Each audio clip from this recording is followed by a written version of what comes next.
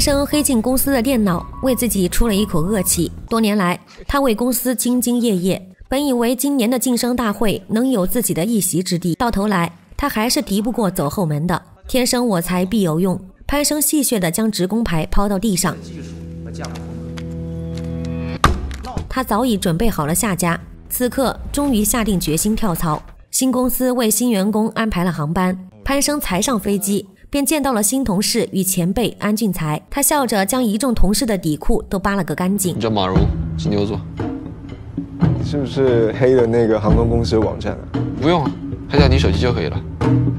潘生向安俊才充分的展现了自己的才华，借此得到了关注。但飞机要在瓦内转机，需在机场等待十个小时。为了帮助同事们解闷，安俊才带领着潘生等人一同出了机场闲逛。带回一个，带回一个。好肥哦，修复一下全是变态。但不想，一行人还没走出多远，便被一众混混包围。快跑！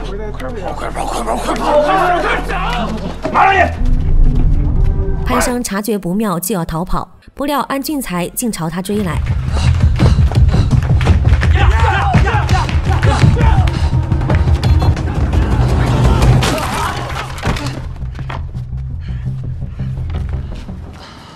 拉起来！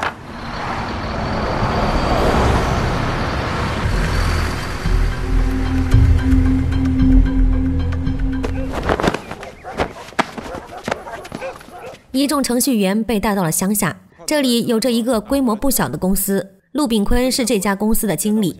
你们想要的东西啊，在外面老老实实工作肯定得不到，但在我这里可以。八位组员，我们的业务范围啊，其实很广的。他和善地带领众人参观公司，并向众人介绍公司的业务十分广泛，上至金融，下抵赌彩，凡是灰色产业几乎全部罗网。公司的职员有自愿，有被迫，他们无一例外的不能与外界联系。凡是想要逃跑的，都会受到最严厉的惩罚。那精彩的来了，美女荷官在线发牌：斗牛、炸金花、龙虎斗、百家乐。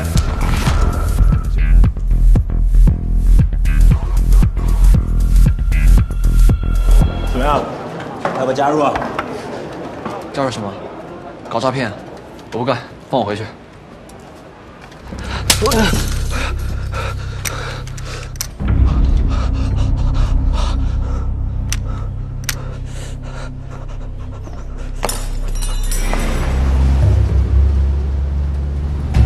潘生被迫留在公司，职工宿舍将脏乱差汇集一身，所有人都睡在地上。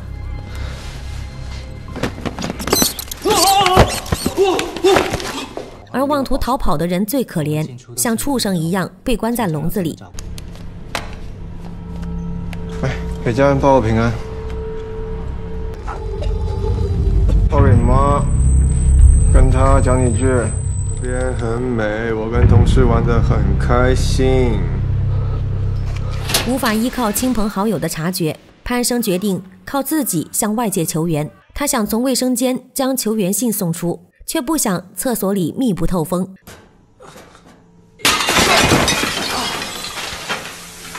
在造成巨大的声响后，他与梁安娜意外相识。举报你就死定了。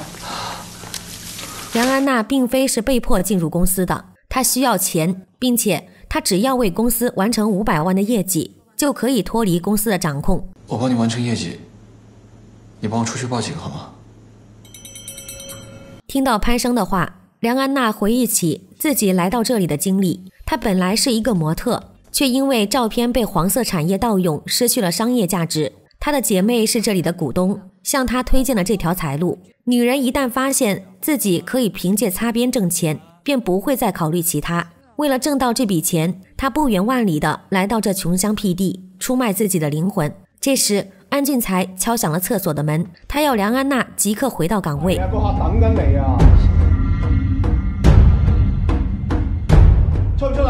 梁安娜借口打发走了安俊才，让潘生有机会销毁求救信，这才走出卫生间。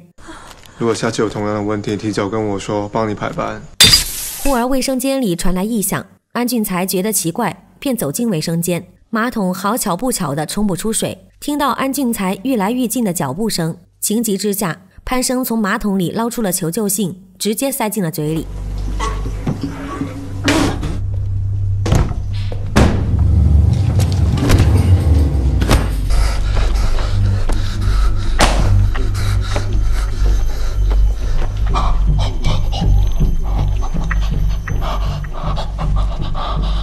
好在公司的一项重要项目此刻展开，打断了安俊才的审问。这项项目波及的范围异常的广，就连即将毕业的大学生也接到了广告。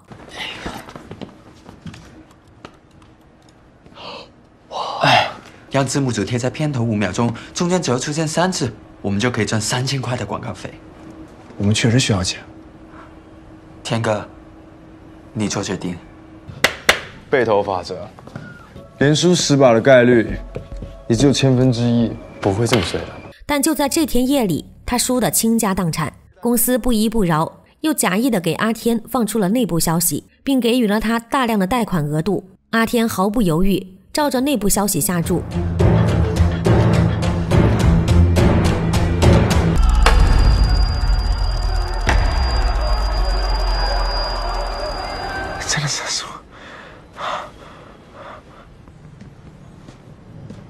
见阿天上钩，潘生用梁安娜的客服号乘胜追击，又给阿天推荐了其他项目。阿天在赌博的道路越走越深，开始拉同事、同学甚至家人下水。能不能跟你预支三个月的薪资？最近手头有点紧。安瑞，哎，帮我下这游戏，扫这个码，打包一起八千喽，没问题我就拆个卡。输几百万赢的都有。妈，再给你借五万块，我跟几个同学开店。梁安娜的业绩开始直线上升，而阿天最终倒欠一百万，贷款公司上门要债。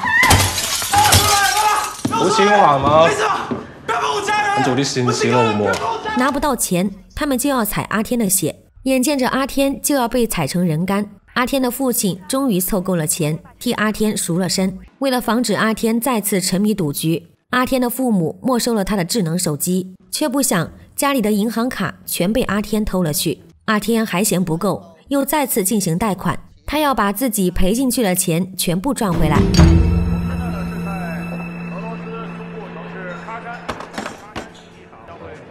帮我一个忙。干嘛？加客服微信，帮我下注。你跟他说，买波单，韩国二比零，一赔一百五十一。韩国，快开始，快开始。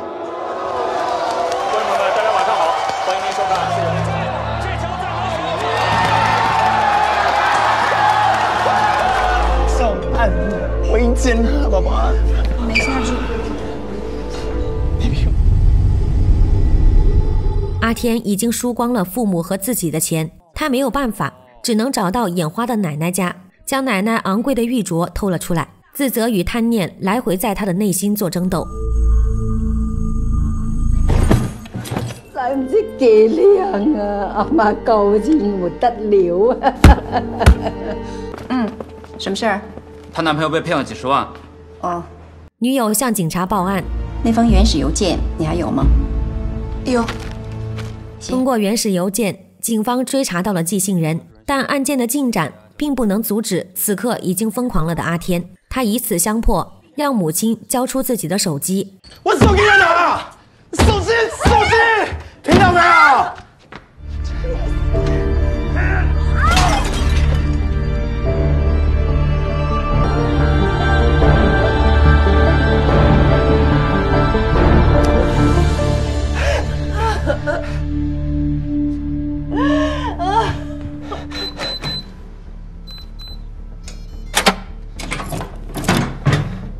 一拿到手机，阿天便开始联系潘生、陆炳坤和安俊才，在一旁为潘生出谋划策，要将阿天拉入币圈。阿天毫不犹豫，将全身身价入股，公司即刻展开行动。他们要一口气吃掉阿天。我怎么说，你怎么说？你登录我的账号，密码是二五一二五。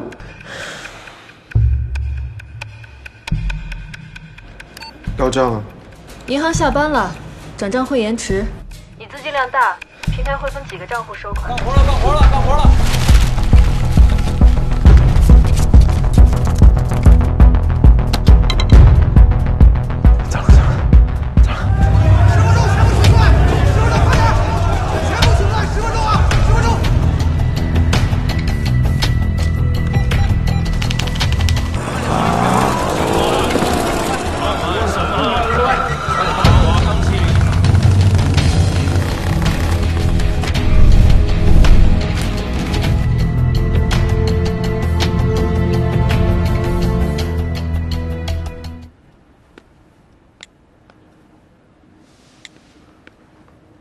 阿天就此心灰意冷，心生绝念。我回不去，所以他们来了。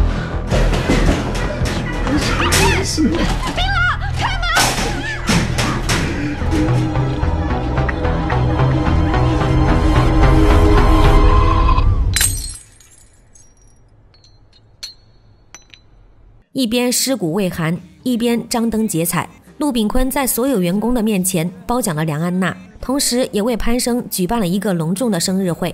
潘生，上来，来吧！所以让我们大家一起祝他生日快乐。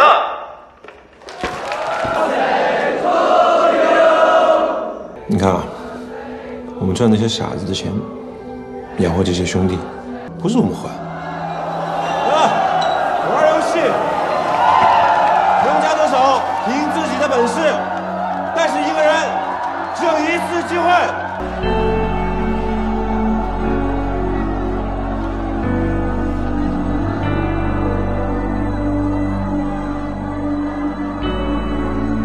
生没有想到，居然有人会记得自己的生日，他有些感动，并在梁安娜的劝说下有些动摇了。他开始思索自己是否应该离开。而与此同时，梁安娜的业绩也达标了，陆炳坤将她的护照归还。嫁给我。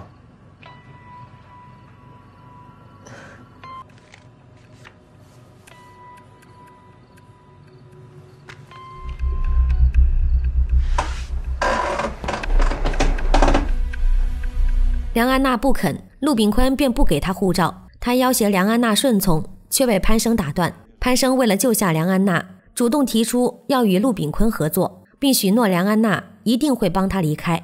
我帮你设置一个动态口令，把你的手机变成唯一能访问服务器的终端，把人工客服功能全部放在 App 里。新货扫码以后，直接跳转到一个群，效率更高。还有什么要求？可以把我的电脑跟硬盘还给我吗？我回几个微信。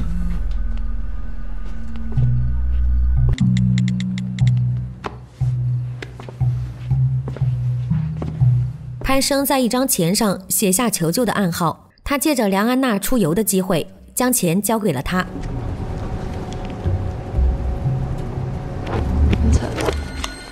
Call this number。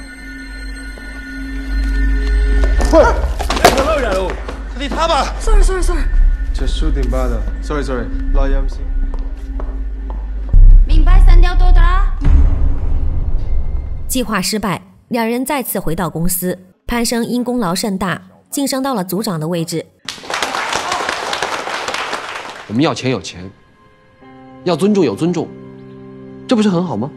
今天睡地板，明天睡摇篮。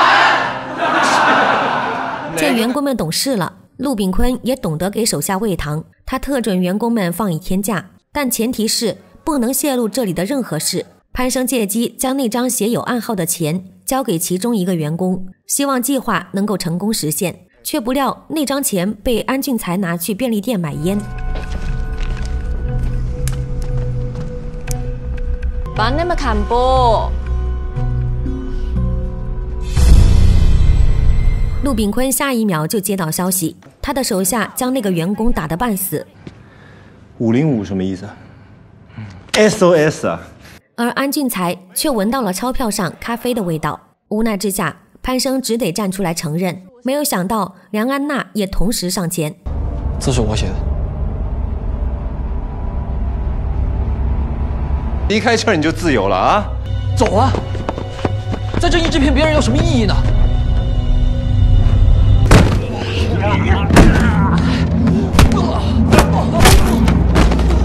这是我写的，罚我呀！我是在罚你啊！打断他的腿。兄弟，对不起，你等一下。潘生的腿被打断，事情就此告一段落。而就在安俊才送女生们回宿舍时，梁安娜却忽然跳下了车。阿平妈你，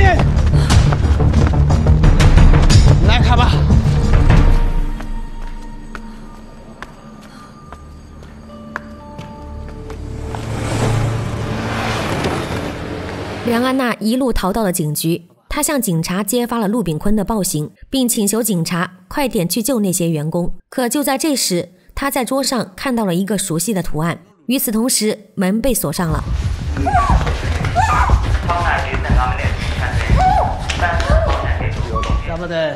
当地的警方与陆炳坤狼狈为奸，他们拿下了梁安娜，并将她交还给了陆炳坤。而陆炳坤这次也没有原谅他，将梁安娜装进麻袋，又在袋子里塞上石块，麻袋应声入水，梁安娜沉入湖底，几乎就要死亡。半晌后，她被捞了出来。安俊才将梁安娜的护照归还给了她，她竟偷偷的放梁安娜离去了。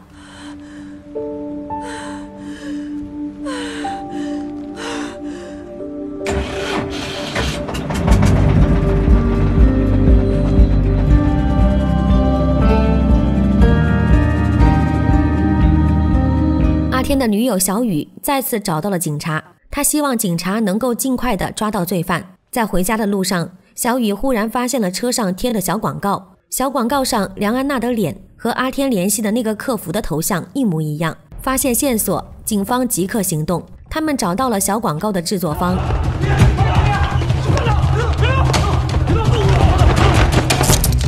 通过他们内部的信息锁定了模特公司。去哪里了呀？他死了。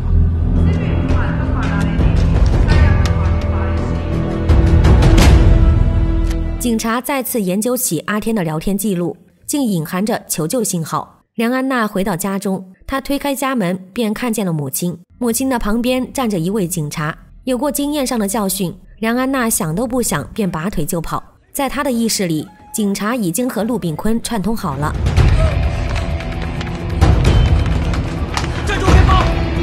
我是显江市公安局的，我们是来帮你的。看清楚。警方带梁安娜来到反诈宣传中心，让梁安娜听到受害者们的消息。他们想借此打开梁安娜封闭的内心。受害者们妻离子散，家破人亡不计其数。希望有线索的人能提供出来，帮助我们。我知道你也是被骗的，现在有很多人都需要你的帮助。终于，梁安娜为警方提供了线索。中央高度重视这起事件。他们集结了警力，奔赴瓦里。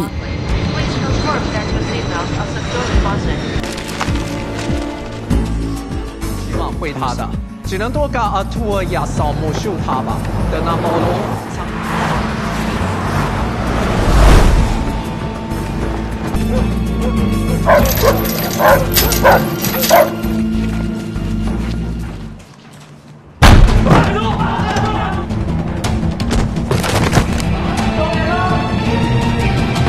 晓不晓得粗卡给别个跑分儿，属违法犯罪行为。躲，躲。警方虽剿灭了公司的据点，但陆炳坤神通广大，早已知悉了情报，并且先一步的进行了转移。那嘉宾。不止如此，在警方返回的途中，意外的暴动忽然发生。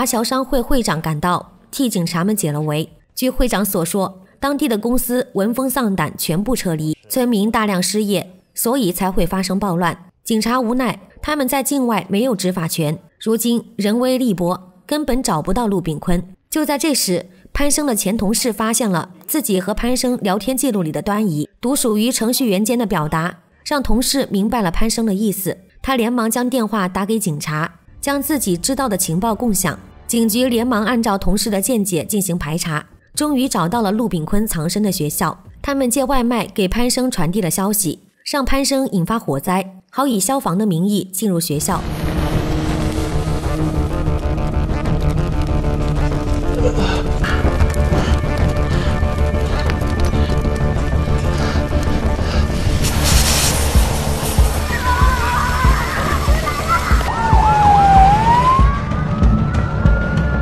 计划成功进行，警员出动，势必要逮捕陆炳坤。陆炳坤见势不妙，就要提枪跑路。不想安俊才手中的剪刀忽然戳进了他的背部。接下来，记住计划，把监控删掉。我怪你，但你要救我一次。喂，把电脑砸了。陆炳坤命所有人将电脑砸掉，随后带着女儿找到潘生。他自知已经无路可逃，便将女儿交给潘生，要潘生带女儿去找妈妈。警方很快将所有人都控制住，眼见着大家都难逃一死，安俊才忽然开枪，一枪射出，骚动随之引起，所有的员工都开始暴乱了起来。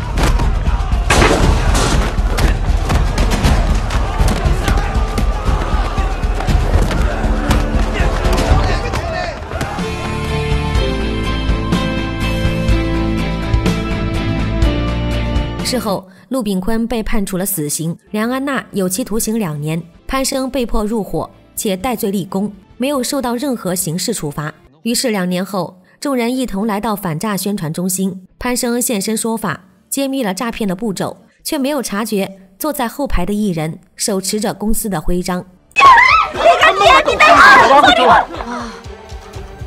如果一个男人几十年如一日的偷吃，却一直没被妻子抓包，有可能是他隐藏技术高超，也有可能是他的妻子也偷吃了。如果一个男人第一次偷吃就被发现，有可能是他运气太差，也有可能是同样偷吃的妻子在等着抓他的把柄。两对夫妻，一对努力维持恩爱人设却偷吃成性，一对精神身体双双偷吃却破镜重圆。这部韩国电影再次尺度大开，用轻松诙谐的镜头语言探讨越界之后夫妻之间的相处办法。西根原来是一名云霄飞车的设计师，干了几十年后，感觉自己到了瓶颈期，开始改行开出租。这天，一个眉头紧锁的女人上了西根的车，女人声称小三也坐在车上，和自己的丈夫正准备去酒店偷吃，这事儿怎么能忍？西根立刻一脚油门跟了上去。奔驰在一间酒店前面停了下来，女人的丈夫搂着一个大长腿妹子下了车。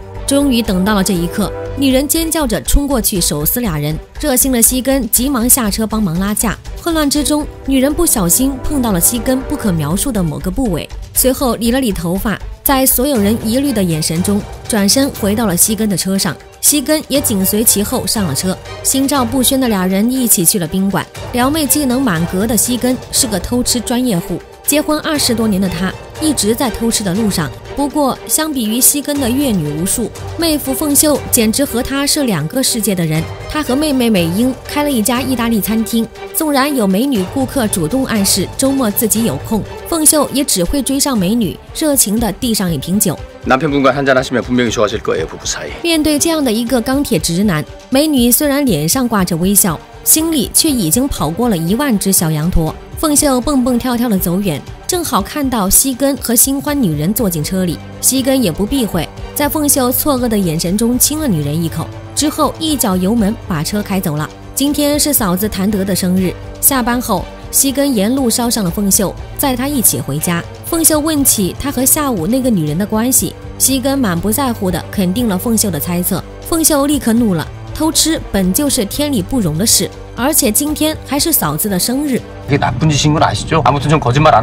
两个男人到家时女人们已经准备好了晚餐。西根拿出价值不菲的戒指还送了谭德一个爱意满满的拥抱。狗粮吃饱的美英看到直翻白眼。哥嫂一直都是他眼中的模范夫妻只是他不知道的是晚上上床后这对恩爱夫妻就会回到相敬如宾的状态。躺在谭德旁边时，西根总是可以一秒睡着。吃完饭后，美英和凤秀回到自己家，俩人也早已过了新婚的激情期，都失去了探索对方的兴趣。一个专心做操，一个安静搭乐高。如果还有什么是必须要俩人一起完成的，大概就是搭伙生孩子了。美英算了下，自己已经到了排卵期，两人这才穿着衣服紧急做了功课。第二天一早，两个男人一起在院子里晾衣服。西根早已看穿美英和凤秀的婚姻是一潭死水，建议凤秀去外面找找刺激，从而重燃对婚姻的激情。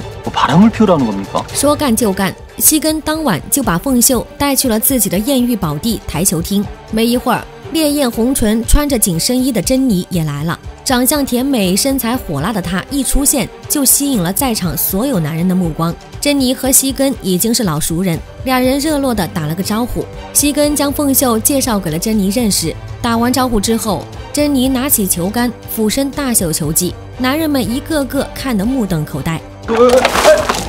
男人不停地向珍妮道歉，西根像是唯恐天下不乱，不停在一旁拱火。谁知珍妮竟满不在乎，脱掉了湿哒哒的内裤。直接打结做成发圈扎在头上，这下男人们更疯狂了，一个个蹲在地上想要偷看珍妮裙底的风光。凤秀看不过去了，将自己的外套盖在了珍妮的腰上。在这么一群油腻男中，正经的凤秀像是一股清流，珍妮开始留意起她来。散场后，珍妮挽着西根走在前面，凤秀亦步亦趋地跟在两人身后。西根聊起自己做设计师时的成就，给自己贴金。珍妮配合着对他一阵夸赞，西根准备带珍妮再找个地方 happy。三个人同行终究太过拥挤，西根催促凤秀先自己回家去，珍妮却突然开口挽留。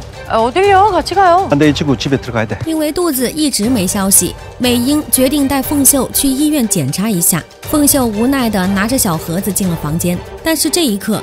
紧张刺激的影片已经不能打动他了。凤秀乏味地看了一眼，就直接关掉了。他闭上眼睛，珍妮没有预兆的突然出现在了他的脑海里。凤秀沉浸其中，感受了不花钱的罪恶感。完事后，凤秀和美英一起回到餐厅。没有意外，今天又是无比惨淡的一天。主厨高俊却从没被生意困扰过，一如既往的笑容满面。高俊是美英学厨时的同学。不过他的厨艺从没在凤秀这里过关过。高俊兴致勃勃地端来了自己刚做好的意大利面，凤秀吃得眉头紧锁，无论是酱汁还是面条，都实在是一言难尽。其实凤秀一直想做的是中餐，还特意为此去中国学习了半年。但是美英就是坚持要让高俊来做主厨，凤秀一直想不明白他坚持的原因是什么。十点一到。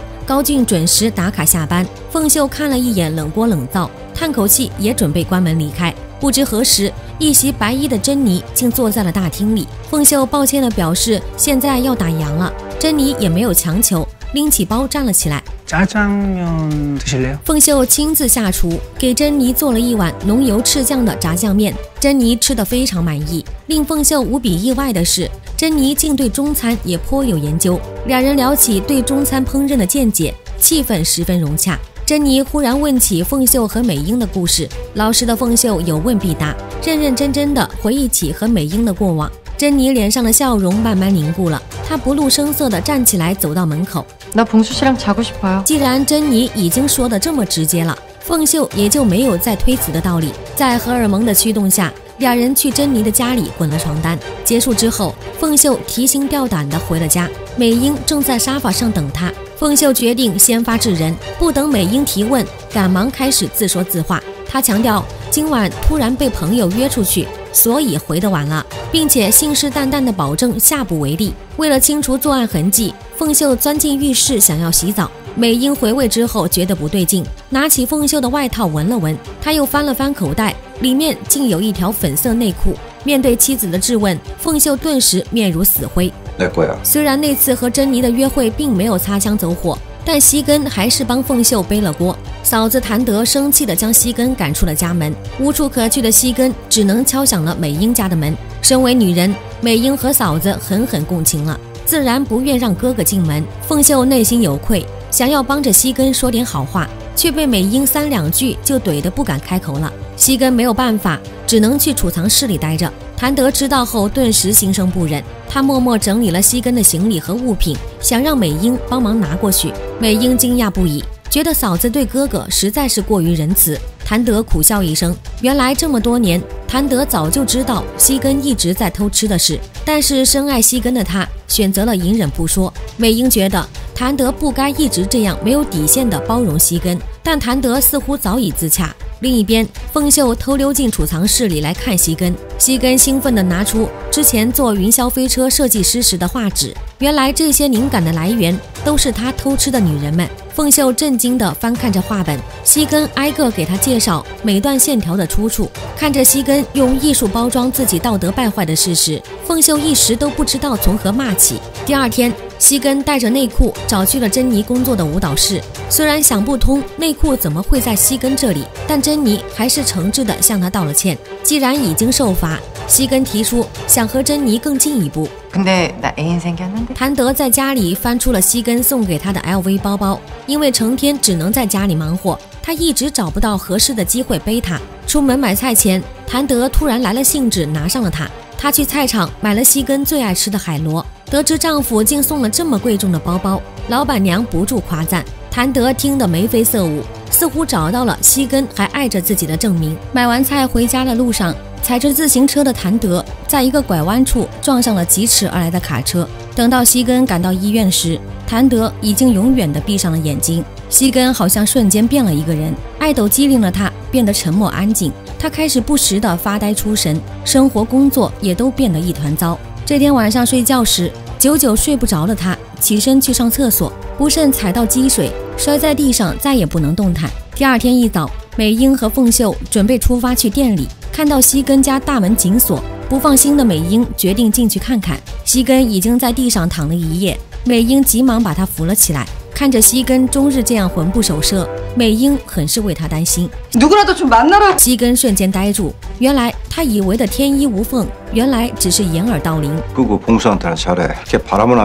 真相却是啪啪打脸。凤秀和珍妮开始了快乐的偷腥生活。凤秀总是一有空就溜去珍妮家里，在和美英枯燥的婚姻生活之外，凤秀找到了太多别的乐趣。两人还会做好美食，将车开到野外运动。剧烈的震动很快就吸引来了在附近跑步的老头们，大家一个个躲在树后关注着车里的动静。谁料太过投入的俩人在运动时不小心碰到了手刹，汽车失控撞上了前面的石头。看着被拉走维修的小车，珍妮建议凤秀趁机换辆车。凤秀无奈地说出自己的财力状况，为开这家意大利餐厅，她和美英欠了银行一屁股债。珍妮鼓励凤秀尝试做中餐，但是餐厅在美英名下，凤秀的话语权实在是有限。凤秀决定听从珍妮的建议，去给他们展示一下自己真正的实力。他把兄妹二人和高俊都喊到了店里，给他们精心做了一桌中餐。事实胜于雄辩，美味面前，大家立刻折服。餐厅开始改卖中餐，凤秀也顺利升级为主厨。好味道自带广告效应，餐厅马上开启热卖模式，每天都是门庭若市，人逢喜事精神爽。凤秀和美英的关系也变得更加亲近，美英对这份久违的激情很是受用。她迫不及待的就要拉着西根分享自己的快乐。作为男人，西根第一时间就感受到了背后的不寻常。这天是美英的生日，凤秀买了礼物和蛋糕回来给她庆生。西根趁机在屋外拦住了她。凤秀自然是坚定的否认，她借口外遇要花费太多的时间，而现在餐厅生意这么火爆。他根本抽不出那个时间。西根听得将信将疑，害怕露馅的凤秀连忙溜进了房间，看到凤秀给自己准备了礼物，正在剁肉的美英兴奋地拿着刀就冲了上来。她一层一层割开礼物盒的绳子，一条精致的名牌睡裙正静静地躺在盒子里。就在美英沉浸在收礼物的快乐中时，凤秀被一条短信吓得慌了神。原来是珍妮竟没打招呼，找到了他家门外。凤秀慌忙把窗帘拉好，然后借口扔垃圾溜了出去。看到凤秀过来，珍妮开心地扯开自己的大衣。原来他竟为两个女人准备了两条一模一样的睡裙，只不过给错了尺码而已。担心被美英看到，凤秀催促珍妮快点离开。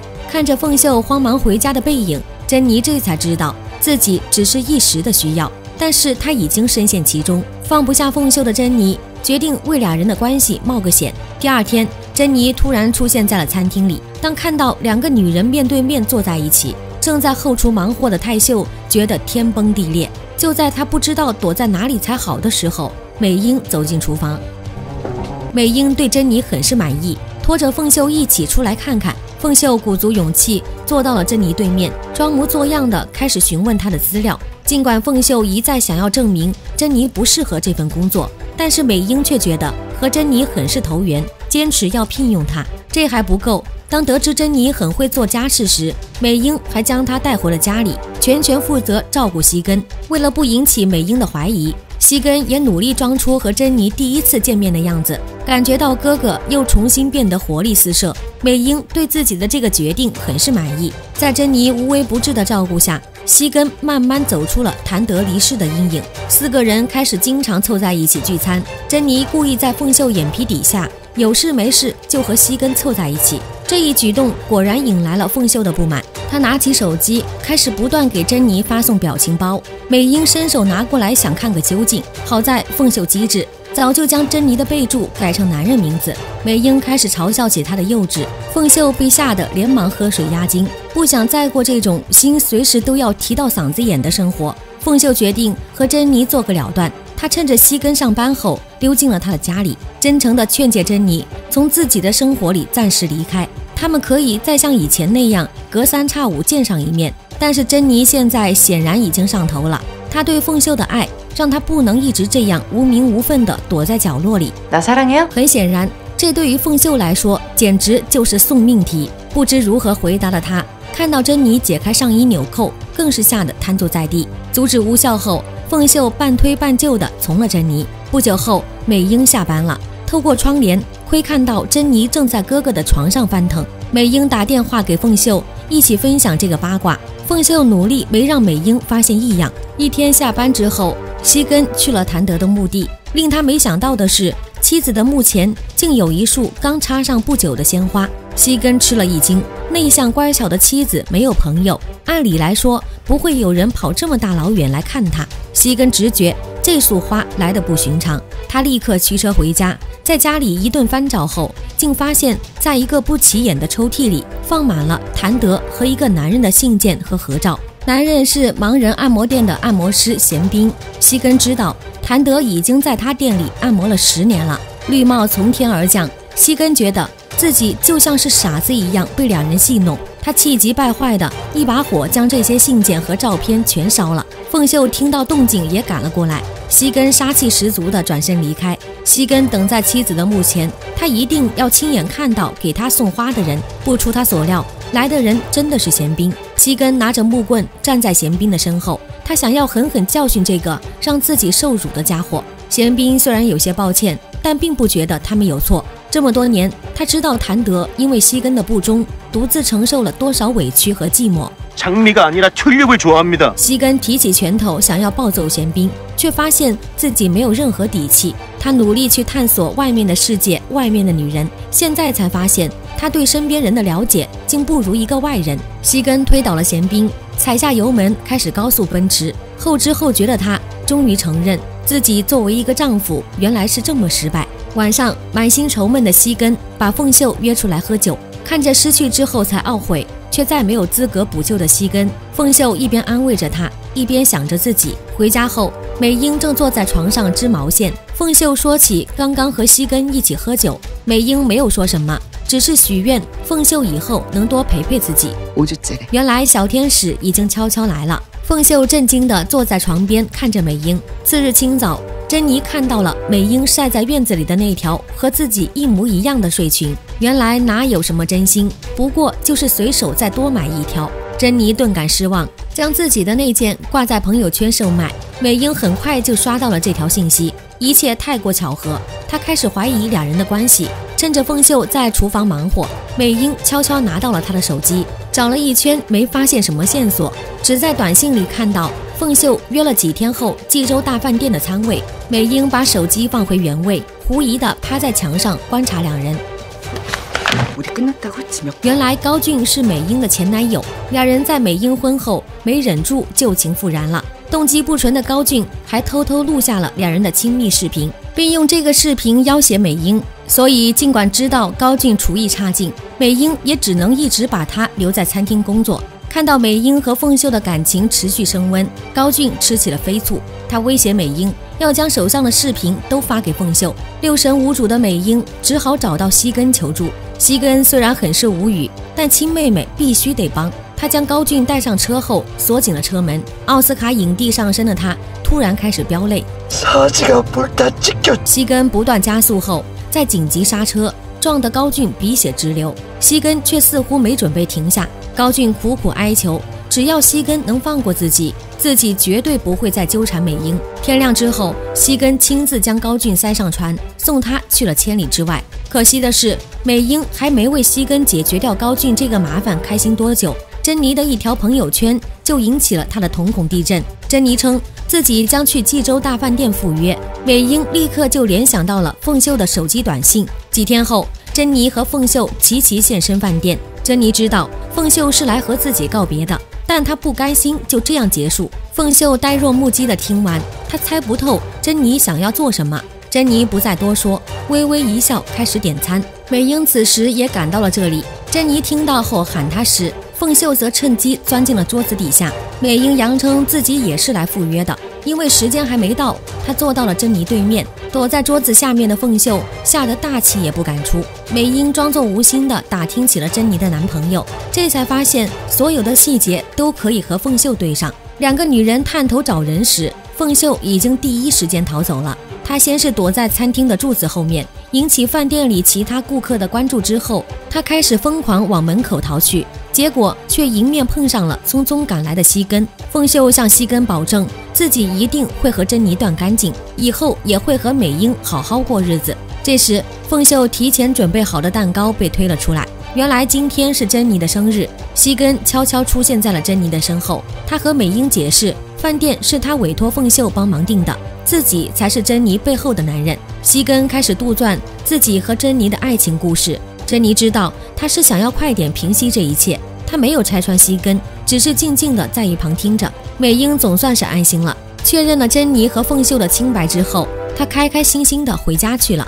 等美英走后，西根提出，既然气氛已经烘托到这儿了，希望珍妮可以给自己一个机会。珍妮哑然失笑，觉得没必要为了他们真的把戏做全。没多久，凤秀和美英的孩子顺利出世，五个人和谐的生活在一起。《风风风》是二零一八年上映的韩国爱情喜剧电影，改编自捷克电影《有希望的男人》。它以济州岛为背景，讲述了四个梦想摆脱日常生活的男女重新找寻真正爱情的故事。片中家庭成员都在日常偷吃，但在编剧的编排下，偷吃居然成为一种能促进家庭和谐的浪漫事情。这也反映了现代社会中普遍存在的问题，即许多人不满足于日复一日重复的生活，追求更具有激情和刺激性的生活方式。对于这样一部既带有喜剧元素又不落俗套的电影，无论是剧情的反转、角色的刻画、故事的主题，都比较有意思，是一部气氛轻松的电子榨菜。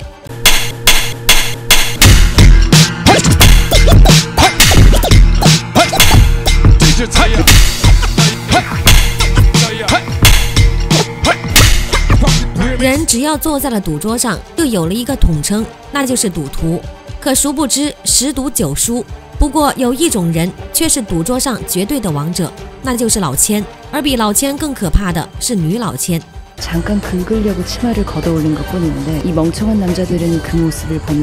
相比寻常老千神乎其技的手法，赌徒往往会被他们的美貌所欺骗，最终落入圈套。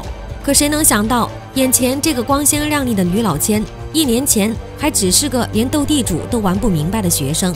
虽然父亲死得早，不过靠着大笔的抚恤金，善美母女三个活得还算不错。这天晚上，善美跟母亲以及姐姐行驶在回家的路上，姐姐突然说她被交往很久的男朋友求婚了。看着她戴上男友送的钻戒，车上的母女三人喜笑颜开。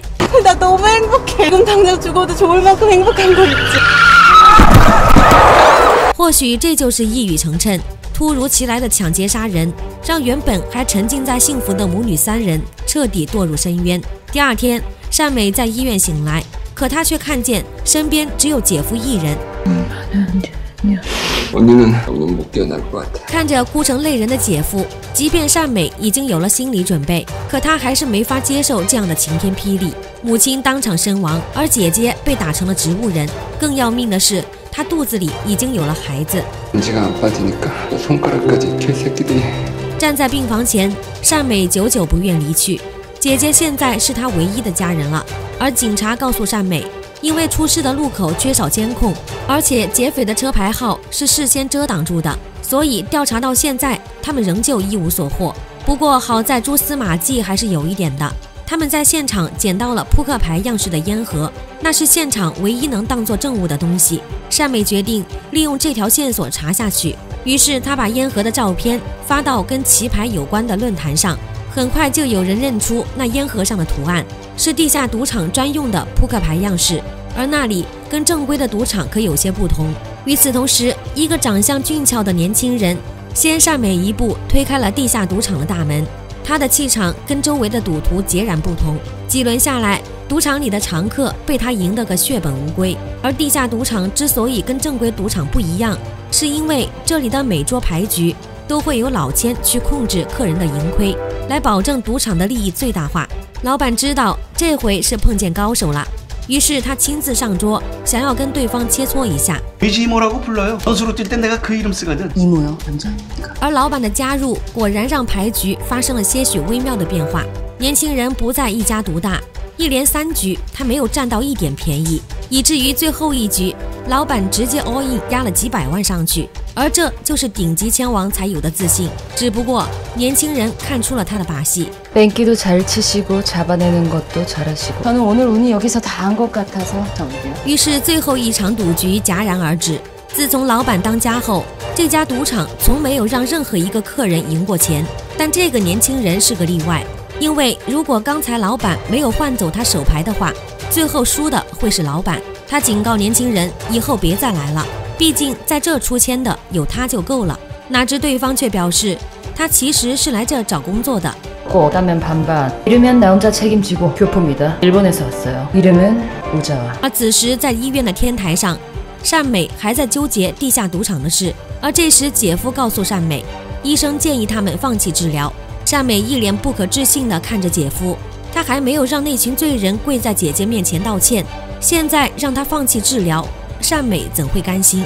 一瞬间她心中仅剩的迟疑一扫而空。当天晚上善美就带着钱来到地下赌场。她要利用这笔钱找出那个伤害自己家人的凶手。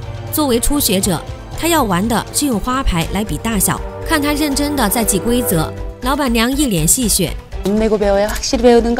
游戏开始，每个人都是看了眼牌才去押注，哪知善美连牌都没看就 all in 了，这样大的手笔吓坏了邻桌大叔。但老板娘可不吃他这套，她亮出自己七胡的大牌。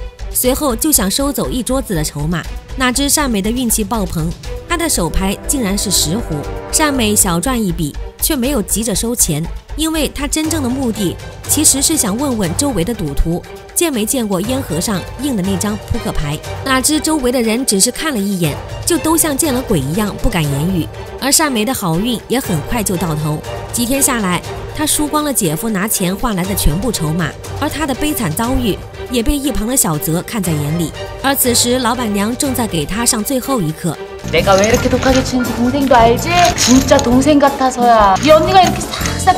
原以为最后这趟他就要无功而返没想到在门口他遇到一个带着情妇的六指男人。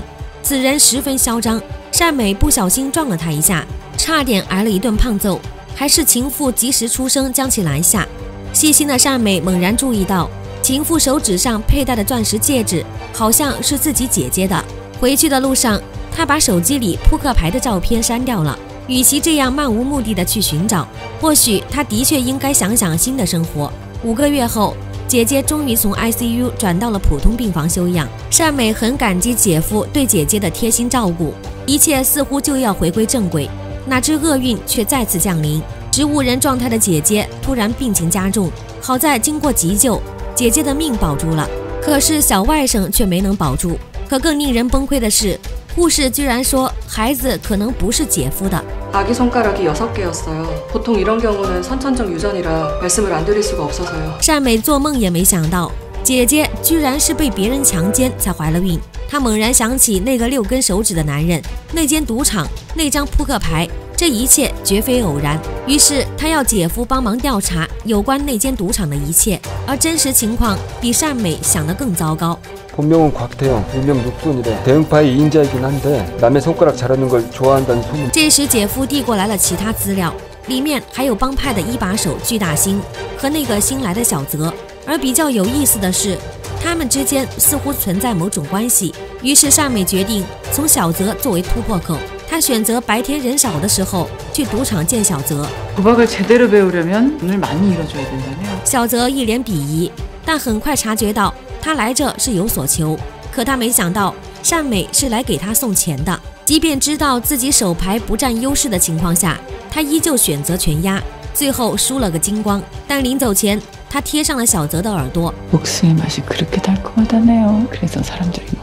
这样深刻的话居然是从一个少女嘴里说出来的。被勾起好奇心的小泽追了出来，他奉劝善美，如果他玩牌的实力只有这样，想利用赌钱找人复仇的话，那他最好选择放弃。但善美坦言，如果放弃，那才是真没有赢的机会了。 세상에 이기는 방법은 없어 착각하지 말고 가라 수업료거기 내가 왜 이러는지 미스터 오자와 小泽没想到自己的真实身份会被人戳穿，但善美并没有用这身份威胁他， 他只是带小泽来见自己的姐姐，直言自己要找六指复仇。小泽觉得他这是天方夜谭，但善美却扒开了小泽进入赌场的伪装。其实他们的目的一样，都是找人复仇罢了。只不过善美没想到的是，小泽要复仇的对象巨大星其实是他的亲生父亲，但小泽满脸都是不在乎，因为他从日本飞到韩国，只是有一个问题想问他。아내 버리고 딸 버리고 혼자서 대체 얼마나 행복했어 당신 二人开诚布公，达成同盟。小泽决定从零开始教善美学习签术，第一步就是识别扑克牌是否动过手脚。有些牌从工厂印刷出来的时候就已经被做了记号，而善美买回来做练习的牌几乎都是假牌。但是在一名真正的老千这里， 就算是假牌也能发挥出真牌的作用。 속임수의 시작은 바로 카드를 숨기는 거야 남의 눈엔 보이지 않게 하는 거 내 눈에는 보이지만 善美被震撼得五体投地，殊不知这才只是签术的皮毛。她很担心，如果牌被人发现了怎么办？但小泽却说，没有的东西又怎会被发现？而且如果有东西比人眼更快，那就一定是老千的手速，而不仅是各种手艺，洗牌也是有门道的。 因为只有让纸牌堆叠到自己想要的角度，才能方便老千出签。不过善美明显还没有那种水平，于是她只能不停地去练习，从刷牙到吃饭再到睡觉，全天二十四小时无休。直到有一天，她终于用出了和小泽一样的藏牌术，她终于出师了。这天晚上，赌场里的老板娘正闲来无事，想要找乐子。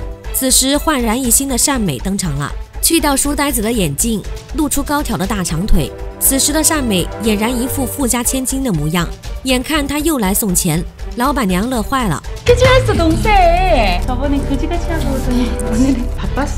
看他从包里掏出成捆的钞票老板娘眼睛都直了。他老这样出来造福社会自己不多赢他几回哪说得过去啊？殊不知此时的善美已经脱胎换骨通常在牌桌上新手会对明面上的牌深信不疑，高手会保持怀疑并确认自己的底牌，但老千不会在意任何一张牌，因为他想要哪张牌，哪张牌就是他的。有善美在，今晚的赌场绝对是大出血。眼看老板娘一副要吃人的模样，善美马上准备优雅的退场。啊！此时，老板还在傻呵呵地问小泽该咋办。殊不知，眼前的小泽就是他这方的叛徒。小泽表示，现在要放长线钓大鱼，但为了保证万无一失，下次要找一个看起来人畜无害的高手。老板娘眼珠子一转，计上心头。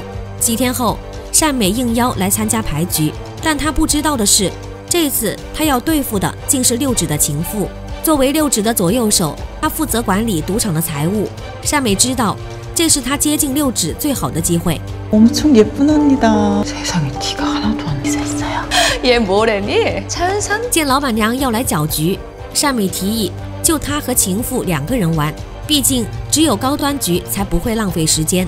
情妇欣然接受，但挑衅她也是要付出代价的。情妇让老板抬高赌注，输掉一亿可以砍一根手指替代，毕竟他哥哥可是那个名气响当当的六指。哪知善美不屑一顾，砍手指有什么吓人的？ 不是也有那种砍掉多余手指会更正常的人吗？就比如他哥哥，情妇的脸色阴沉下来，但很快一起阴沉下来的还有他的排运。随着善美一声加注，现在情妇的一只手已经不够砍了。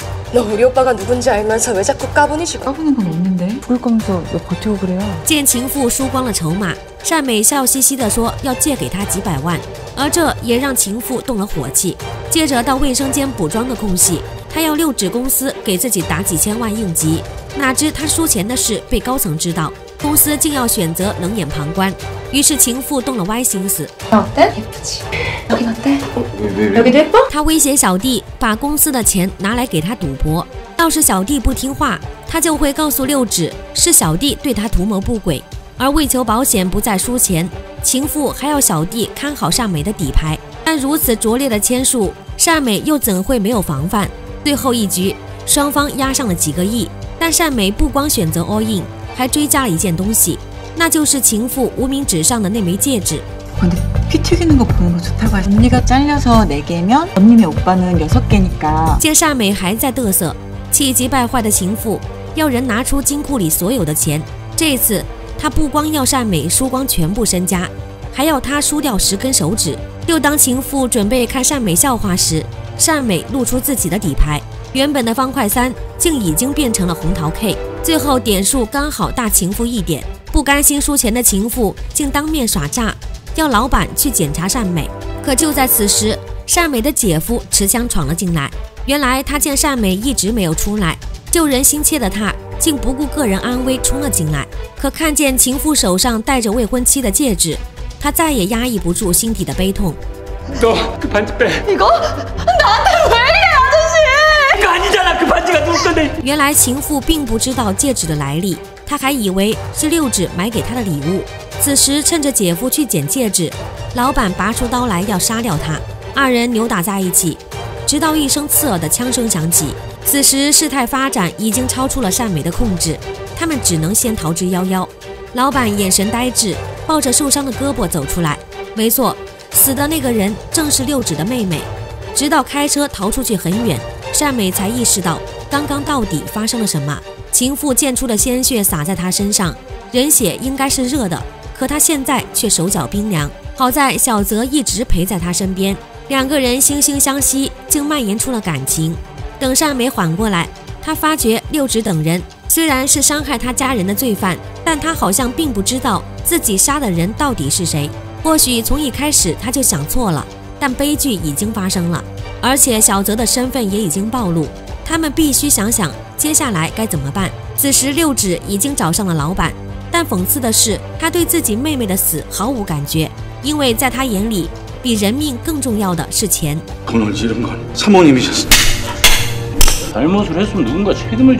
疯狂的六指把老板娘拽过来威胁他老板只能忍气吞声承诺自己会把情妇输给善美的钱全数补给公司。六指这才作罢此时医院里姐夫把戒指重新戴在姐姐手上，他认真的模样让善美动容。就在他想办法要去找六指善后时，小泽已经先他一步找上门去。老板威胁他把钱交出来，否则就要砍掉他的手脚。小泽满脸不在乎， 이미 자폐가 이겼습니다. 나한테는 뺑키 같은 거 안 통하는 거 아시죠? 새끼가 진짜. 为了保护善美，小泽做好了必死的准备。 可当六指真的用刀切开他的手腕时，他的眼泪还是不争气的流了出来。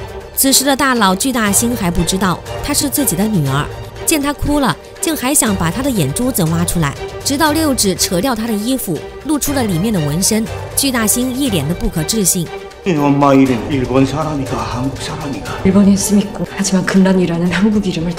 事到如今，父女终于相认，面对女儿，巨大星满心愧疚。听到小泽质问他为什么这么多年一直没去看母亲？巨大心沉默了其实他并非无情之人只是这些年他身不由己。为了弥补女儿他决定放弃被善美赢走的钱。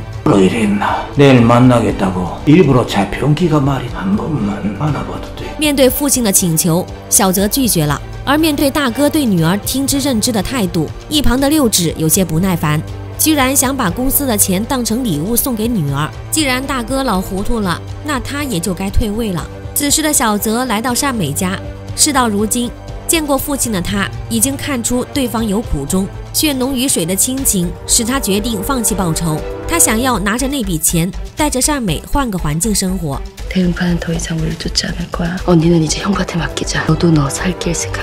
善美知道小泽是真心为他好，但他也有他的路要走。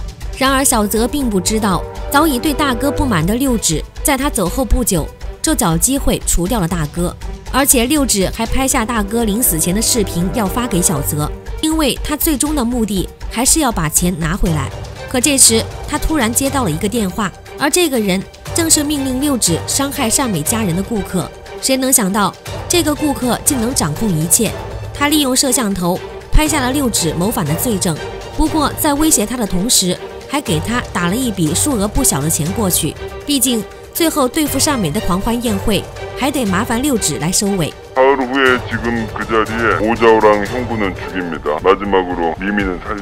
男人的命令让六指很不爽，但收钱办事可是他的原则。四天后，善美送小泽去机场，面对小泽的再次邀约，善美还是选择拒绝。二人在机场恋恋不舍的分手，但哪知二人刚分开，就分别收到一段视频。小泽收到的是父亲被杀的画面，善美收到的。则是姐姐被人挟持的画面，而发送视频的不是别人，正是六指。他要二人带着钱来到自己指定的地方再赌一场。由于同时收到六指的死亡邀约，刚分开的两个人再次碰面。两个人霸气登场，面对狡猾的六指，他们毫无惧意，反倒开诚布公。滔天的杀意让整间屋子的气氛瞬间降至零点。来之前，他们已经把钱藏好了，一手放人，一手交货，这是他们的原则。所以六指也想出了更加公平的解决办法，那就是赌博。面对这样赌钱又赌命的六指，战美和小泽没有放松警惕。果然，六指要拿来用的牌是假牌。没想到这些职业毒手的尊严还不如厕纸干净，于是善美掏出了完全干净的真牌。既然要赌，那就堂堂正正的赌一场。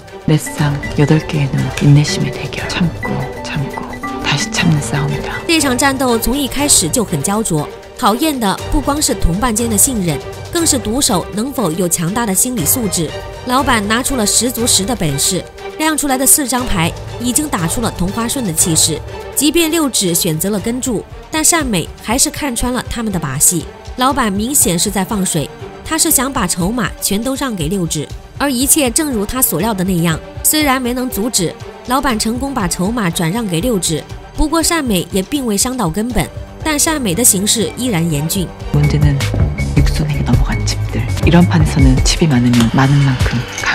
但好在小泽很快看清了形势，第二局他选择炸牌。这样逼六指弃牌的同时，他还能把自己的所有筹码转让给善美。这下筹码不够用的反倒是六指了。但六指也是个出千的高手，在没有优势的时候出千就是他的优势。虽然他的筹码不够，但如果加上善美的姐姐和姐夫，他就能和善美达成公平对等的局面。明面上六指的牌大于善美，原则上只要不让善美弃注。到最后，这场赌局他一定会赢。如今的善美进退两难，现如今猜出六指所想，就成了破局的关键。想通一切的善美不再犹豫，他选择 all in。既然六指要一局定胜负，自己就给他这个机会。眼看善美终于下注，六指会心一笑。既然如此，那他留在医院伺机准备对善美姐姐不利的老板娘。也算圆满地完成了牵制善美的任务。听着电话里老板娘撕心裂肺的哭喊声，一旁的老板咬牙切齿。临近最后关头，善美终于意识到不对。刚刚洗牌的时候，她就发觉少了一张牌。回想刚才的牌局，她猛然发觉六指手里一定还有一张黑桃 A，而他手里的 K 不可能赢过 A。见善美有些焦躁，六指得意洋洋。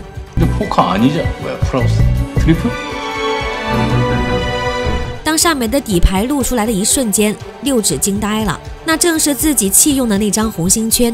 他满脸不可置信，殊不知早在赌局开始以前，善美就已经设局藏了一张牌。出签的精髓就是置之死地而后生。只要他先发制人，就算六指想换回红心圈，那也来不及了。六指恼羞成怒，掀翻了桌子。果然，装作斯文人，他还是办不到。现在的他只想马上把善美大卸八块来泄愤，但手下人却没有动。如果说六指杀掉结拜大哥，兄弟们还能服他是因为钱，那么现在他出千却还输了个底调，就绝对失去了身为大哥的尊严。老板嘲讽他，不管是谁在公司惹出事端，就必须要有人去负责。这句话现在他可以原封不动地还给六指，到最后连一直跟在六指身边的小弟都看不下去，主动选择给姐夫松绑。如今的六指众叛亲离，等待他的只有小泽和善美的怒火。但身为女人，跟男人有着天生的体型差距。眼看小泽败下阵来，善美拎起板凳砸在六指身上，可这也只是吸引仇恨罢了。但聪明的善美随手在地上捡起了板凳的残骸，然后狠狠插在了六指身上。眼看善美就要赶尽杀绝，六指终于道出实情。谁能想到，指使六指伤害善美家人的罪魁祸首，真实目的其实是想要向善美的父亲复仇。虽然男人已经死了，可报应绝不能断。谁叫他们是家人呢？而留下善美的理由其实很简单。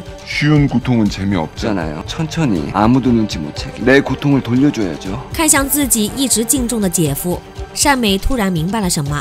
只是一瞬间，她的世界就崩塌了。果然，从一开始她就错了，不应该纠结是谁做的，她要找谁报仇，而是应该想一想为什么会放过他才对。而从头到尾。只有那个男人一直在她身边，冷眼旁观这一切。《女老千》翻拍自韩国同名漫画，是韩国知名导演李智胜执导拍摄的犯罪动作电影。这部电影选材相对比较新颖，遵循韩国犯罪动作电影的剧情模式，但是有些过于俗套和按部就班，而且有些场景不太符合逻辑，像是杀人不眨眼的老大，居然能够规规矩矩赌博定输赢，还有手下的小弟。说叛变就叛变，最后被手无寸铁的女人说杀就杀。电影最后给观众留下一个悬疑的猜想，那就是姐夫复仇的原因到底是什么？而如果想知道的话，就只能等下一部续集的拍摄了。